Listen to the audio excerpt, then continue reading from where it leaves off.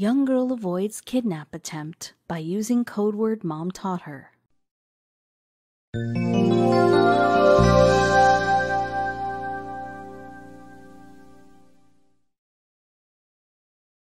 Every parent worries about their child. As your child grows up and starts to walk to school on their own, there are specific rules that need to be taught. Stranger danger is one of the biggest ones. Lots of children tend to be trusting, and when a stranger who appears kind offers them a ride home, it might seem completely innocent. That's why parents have to ingrain in their kids that they should always say no to anything from a stranger, no matter how kind they appear to be. For one little girl, she remembered this rule, and that is what prevented her from being caught in a bad situation. The little girl who knew something fishy was up was none other than Madison Rains. She was used to her older brother coming to get her when she finished school for the day. Normally, she would head out of the front doors of the building and then wait on the curb until he pulled up. Her parents would leave a message with the teacher if one of them was collecting her. That day, though, she had received no message, and her brother was nowhere to be seen. With school out for the day and no ride in sight, Madison decided to go for a walk with her friends. It was not unusual for them to head to the park and play for a few minutes while they waited. As Madison went over the swings, she noticed a truck in the distance. It seemed as if the driver was waiting for someone. When the driver saw Madison look up, the man at the wheel began beckoning her to come towards the vehicle. She did not recognize him, but he seemed to recognize her, which was strange. Madison and her family had lived in the Santan Valley community of Arizona for a number of years. The neighborhood was known for being a safe one, with the crime rate being relatively low. However, her parents were still cautious and made sure that Madison knew what protocols to follow should a stranger approach her. At the tender age of 10, Madison was starting to grow into herself and became more involved in school. Her parents were never that concerned with strangers approaching her in a neighborhood known to have a strong sense of community and safety. Brenda James, Madison's mother, had her own brush with stranger danger when she was younger.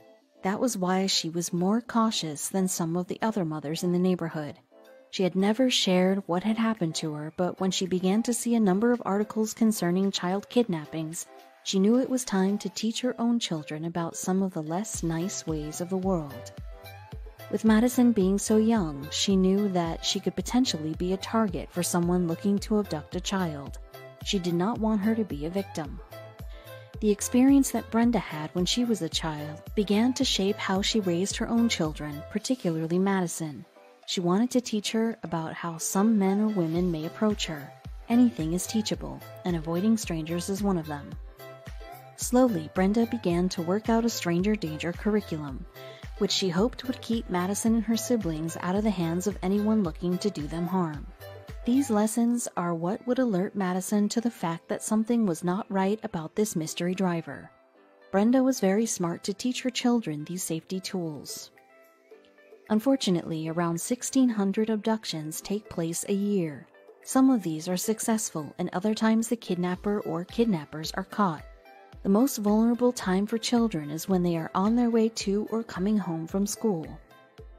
This is a time when parents are less likely to be around and children are left unattended for a time.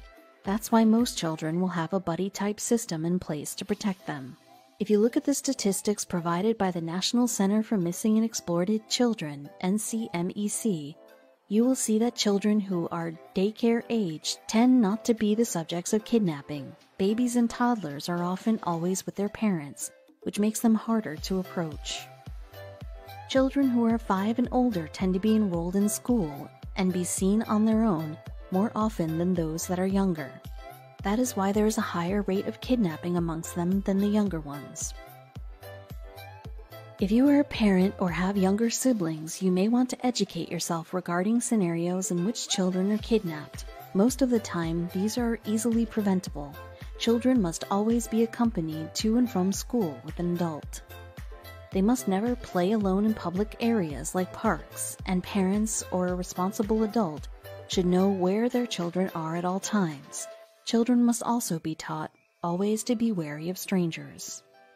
There are certain scenarios that potential kidnappers will use to try and lure children to them. Teaching children what these are is very important as it will help them to identify potentially dangerous situations. This is what Brenda decided to do with her own children. She read up on some of the most common ploys and began to teach Madison and her siblings what to watch out for if she was not around. One of the most common lures a predator will use is the name lure. Usually, a predator will have watched their chosen child for a number of days, weeks, or even months. They learn the child's schedule, along with their name and likes and dislikes. This allows them to act like they know the child and establish a facade of trust. Children are more likely to trust someone if they think that they might know them in some way. This lure, called the help lure, is slightly less common, but it also plays to a child's sense of what is right and wrong. A potential kidnapper will appear to be in distress and will look to the child they want to kidnap for help. Most children are always taught to help those in need, even if it is a stranger. That is why children need to be sensitized to the fact that adults may not require help, and asking a child when there are adults around is abnormal behavior. Another ploy that some kidnappers will employ is the gift lure. This one is quite different than the other two. Essentially, the kidnapper will offer the child they want to lure something that will make them happy, such as candy, toys, or another applicable gift.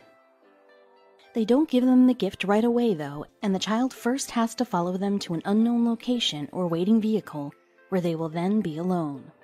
The final ploy that potential kidnappers will use is the emergency lure. This is the one that Madison's kidnapper tried to use on her, and it may have worked if Brenda had not done such a good job with teaching her about these. The emergency lure has the kidnapper telling the child that something has happened to a family member and they have been sent to collect them and bring them to the hospital or care facility. The man behind the wheel of the truck that wanted to kidnap Madison decided to use the emergency lure on her. He began to tell her that a horrible accident had befallen her brother, which was why he was unable to pick her up from school that day. The only problem was that Madison was aware of this ploy and knew to ask some pointed questions about what had happened to her brother. This stumped the kidnapper. Before Madison was approached by this man, Brenda had gone over every possible lure she had heard of with her children. They had done role plays in which Brenda would use some of the lines that predators could use as lures. These lines taught Madison what to listen for when strangers would talk to her. Sometimes it was just the parents of her classmates who she did not know, but in this instance, it was definitely a predator. When Madison walked over to the stranger's truck, all of her friends watched from a distance. As he told her about her brother, her mind began worrying. It was odd that her parents would not communicate with her if this was true. What was also strange was the fact that this stranger would not allow her to see his full face. That immediately put her on edge. If this man was supposed to be helping her, why did he need to hide? Brenda had tried to think of creative ways to keep her children safe and to avoid the emergency lure in particular. She developed a code word. This word was something each of her children had to remember, and if an accident ever occurred, they had to ask for it. Their grandma also knew the word if something was to happen to Brenda and her husband. Madison gazed at the truck driver and decided to see if he knew the correct word. He did not. The fact that this driver did not know the word alerted him to the fact that Madison knew he was a potential kidnapper. As soon as he was asked for a code word, he knew the ruse was up. He immediately kicked his truck into gear and sped off into traffic. Madison did not know him and she had saved herself. However, this predator was still on the loose, which meant that other children in the neighborhood would need to be on their guard. Brenda and Madison never shared what the code word was, but we know that that is what kept her out of harm's way. Brenda decided to come up with a code word after learning about all of the lures used to kidnap children. She never wanted to have an Amber Alert issued because one of her kids had gone missing. That being said, she could also not be with them 24 hours a day, 7 days a week. As soon as Madison made it to her grandmother's house after this awful encounter, the police were called. They rushed over from the Pinal County Sheriff's Office and tried to get all of the details about the man and his truck that they could. Madison relayed everything she had noticed, and a police bulletin was put out. There was also a Facebook post regarding the incident, which caught many parents' attention and made them think about their own code words. The police commended Brenda on creating a code word and encouraged other parents to do the same. Most children are too innocent to realize that a predator might be trying to kidnap them. Having a simple family meeting on how to avoid stranger danger and why a code word is important when talking to strangers can prevent a child from being kidnapped. More and more parents should try and employ this tactic to keep their kids safe. To make the situation even more terrifying, the man in his truck were actually quite well known in Madison's neighborhood. He had been watching a number of school children for a few months. Madison was just the first child that he decided to approach. Other parents in Madison's Arizona community are now using code words to keep their kids safe. The police continue to stay vigilant as they look for the unknown man. The story of Madison and her wannabe kidnapper began to spread across social media and garner a lot of interest and support.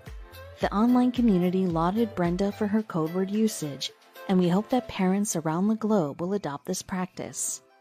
No child should be taken, and if the usage of a code word can prevent that, then it definitely should. We hope to hear a lot more about code words being used in the future.